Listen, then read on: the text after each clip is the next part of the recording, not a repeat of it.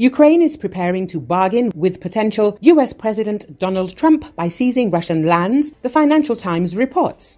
Russia brought war to others, and now it is returning home. With these words, President Volodymyr Zelensky broke the silence for the first time and indirectly confirmed the invasion of the Ukrainian armed forces into the Russian Kursk region. The Ukrainian president named only one goal of his army's daring offensive to create a buffer zone in the border region, which the Russians used to strike at the Sumy region.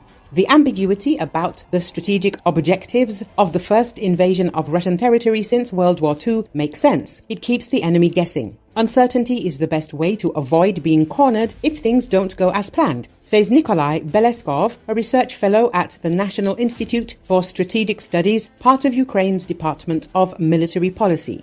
Defense analysts, Ukrainian soldiers, and even dictator Vladimir Putin have offered their own explanations for the operation. Withdraw Russian troops from the front, where Ukrainian troops are slowly losing ground, restore faith in Ukraine's offensive capability, use Russian territory as a lever of influence in any negotiations with Moscow. Invading Kursk as a bargaining chip in future negotiations is Ukraine's most compelling strategic goal. Putin has voiced it, but it is also the most dangerous. Kiev knows it will be under pressure to negotiate an end to the war, especially if Donald Trump returns to the White House after the presidential election in November. Diplomatically, Ukraine has tried to step up, pushing its own peace formula and promising an international peace conference with an invitation to Russia by November the 5th. Trump has boasted that he will bring peace to Ukraine overnight. No one knows how but several of his former officials and advisers have suggested that a Trump peace could include territorial concessions in exchange for significant Western security guarantees. Kiev and many of its European allies are concerned that the Trump administration is forcing Ukraine into an unfair and unstable peace under the threat of cutting off US arms supplies. Most Western capitals say they want Kiev to have the strongest bargaining position. But if Kiev wants to trade the land it seized from Russia, it must hold onto it, and the cost could be too high.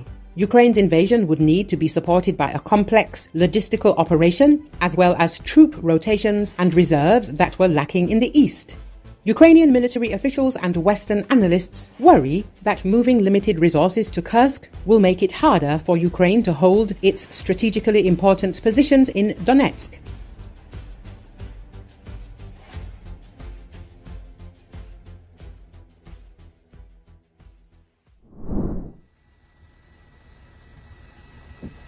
Перших днів війни ми на фронті. Робимо свою справу чесно та з душею. 2-2-5. Рабів до раю не пускають.